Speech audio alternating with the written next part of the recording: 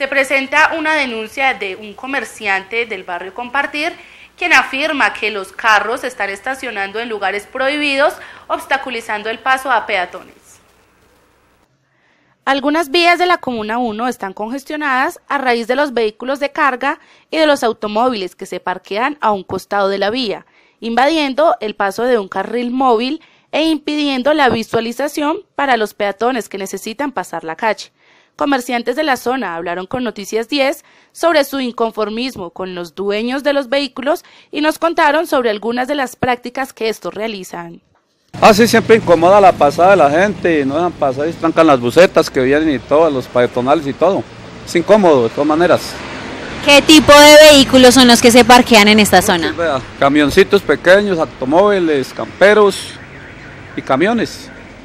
¿Qué tipo de actividades eh, eh, hacen este tipo de personas? Traen mercancía para, para aquí, para el supermercado y otros traen sus carros, los dejan ahí, sin hacer ningún trabajo. Además, algunos habitantes nos manifestaron tras cámaras los peligros a los que muchos se exponen al momento de tener que cruzar la calle, pues afirman que los vehículos en su mayoría son de carga y por ende son altos, impidiendo la visibilidad del otro carril por donde pasan los colectivos a gran velocidad.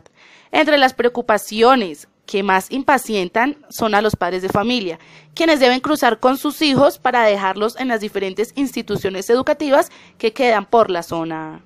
Estos vehículos también tapan los espacios de rampla para las personas con algún tipo de discapacidad, aumentando así los riesgos de accidentalidad.